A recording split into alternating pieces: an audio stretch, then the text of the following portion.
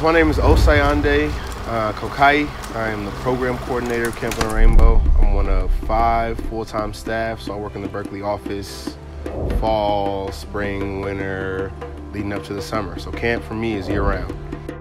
Uh, I went through our teen staff program.